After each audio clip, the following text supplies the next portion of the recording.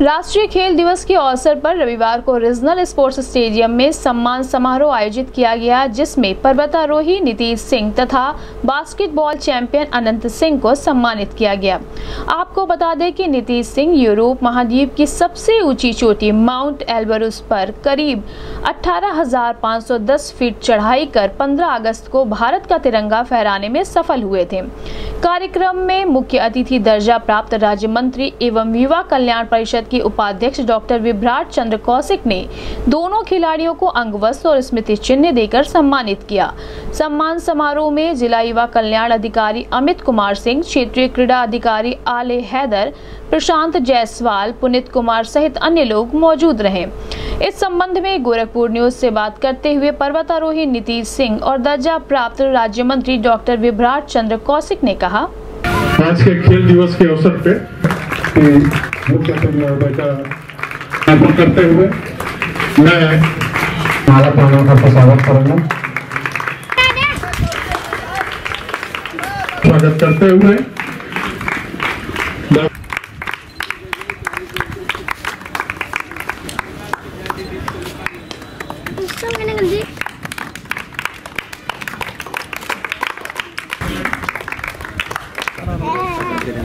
और हमारे साथ दस कार्यकर्ता है।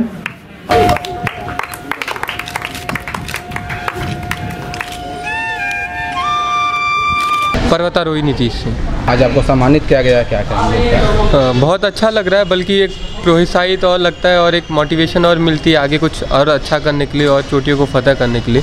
क्योंकि जब लौट के आओ और एक सपोर्ट सिस्टम मिलता है एक सम्मान मिलता है तो कहीं ना कहीं बहुत अच्छा लगता है।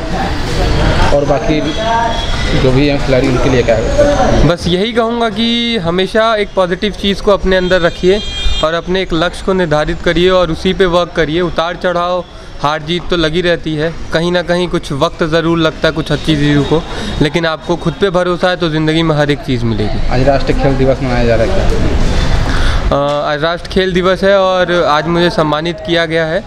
और बहुत अच्छा है और एक प्लेयर को जब कोई सम्मान मिलता है एक पॉजिटिव एनर्जी आती है उसके अंदर और कहीं ना कहीं मेरे अंदर भी एक अच्छा लग रहा है कि जहाँ पहले सामने खड़ा होता था, आज मैं इधर बैठा हूँ तो दोनों में फ़र्क है और कहीं ना कहीं मैंने कुछ लक्ष्य हासिल किया है और मैं आगे बढ़ रहा हूँ तो इस वजह से ये सम्मान है मुझे। देखिए, भारत सरकार प्रत्येक वर्ष हॉकी के जादूगर मेजर ध्यानचंद जी के जन्म दिवस 29 अगस्त को खेल दिवस के रूप में मनाती है। और इसी के उपलक्ष्य में पूरे भारत में छोटे मोटे खेल के आयोजन किए जाते हैं।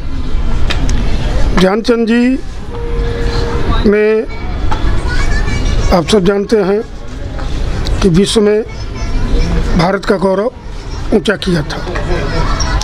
और जो हमारी पारंपरिक खेल है, गाँव की खेल है, ग्रामीण परिवेश की खेल है, उसको पहली बार भारत का प्रतिनिधित्व मेडल के रूप में अगर किसी ने दिलाया तो मेजर ध्यानचंद जी। आज उनके जन्मदिवस के अवसर पे यहाँ पर गोरखपुर में क्षेत्रीय क्रीड़ांगन में खेल विभाग द्वारा 19 वर्ष के कम उम्र के बच्चों का एक हॉकी मैच कराया गया माननीय रसो साहब द्वारा और युवा कल्याण विभाग द्वारा एक अभी जल्दी ही 15 अगस्त को भारत का झंडा रसा में आठ हज़ार अट्ठारह हज़ार पाँच सौ दस फुट ऊँचा पर 15 अगस्त को फहराने वाले श्री नीतीश सिंह जी को और बास्केटबॉल में भारत का प्रतिनिधित्व करने वाले श्री अविनाश सिंह जी को यहाँ पर सम्मानित किया गया है। खेल दिवस के अवसर पे मैं चाहता हूँ, और मेरी प्रभु से प्रार्थना है, उत्तर प्रदेश की सरकार अनवरत खेल के दिशा में प्रयास कर रही है। अभी माननीय मुख्यमंत्री जी ने एक ग्रामीण खेल को गोद लेने की घोषणा की थी और उसके लिए अभी परसों उन्होंने कुश्ती को गोद लिया है। कुश्ती के विकास के लिए 170 करोड़ रुपए उत्तर प्रदेश सरकार खर्च करेगी। अभी जो खिलाड़ी छात्रावासों में रहते थे, उनको ढाई सौ रुपये आहार भत्ता मिलता था। अब माननीय मुख्यमंत्री जी ने घोषणा की है कि वो तीन सौ पचहत्तर रुपये मिलेगा।